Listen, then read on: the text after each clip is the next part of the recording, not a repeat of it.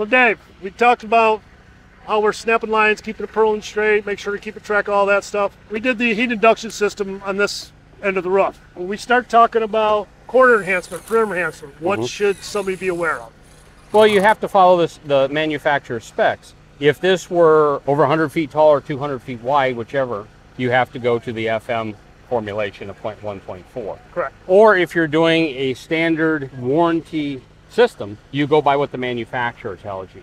On this, we're going with a standard GAF warranty. And on this, it would be seven in the corners, 10 and a half in the perimeter, and 18 in the field. Field. Right. How far in is our perimeter going to be? Well, again, because it's standard GAF, five foot. Five foot. Right. So- zero, three, four feet, In five foot from the edge of that roof, we're going to drop in this corner. How many fasteners in this corner? seven. Seven in this corner. Correct. How far in from both from the other edge? Where you're fictitious, L is or whatever. Yeah. it'd be five foot, Five five, by foot. five. And then down the perimeter, we're going to have how many? Uh, 10 and a half, 10 and a half, Yeah. 10 on center. Right. And in the field of the roof, we have 18 on center. Right. So it's pretty simple. Yeah. And it's five foot, which goes All the way down the our whole entire length of Yeah. the building. So on this section of the roof, we talked about we're strapping them. right So side we to went, side. We went from drip edge to drip edge, up and over the peak down the other side. But we also talked about custom length rolls. Correct. So this building is what, 52 foot? So we, we got our rolls 54. 54. So we gave us a little bit. Mhm. So again, at not so much my age, but maybe your age, a 12 foot by 100 foot is no fun to carry around.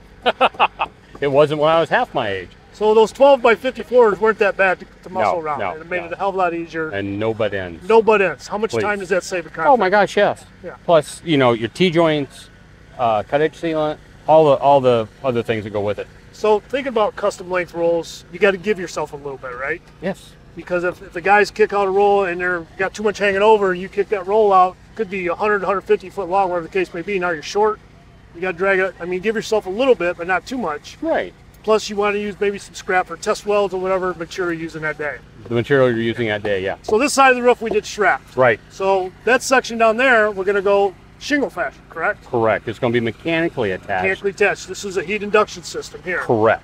That's going to be a mechanically attached system. down Into the seam. Yeah, and there's not, there's nothing wrong with that end of the roof. We're just we're just showing people different options, Two different options. how to install a metal retrofit building, Correct. ins and outs, different fastening patterns, that type of thing. Yep.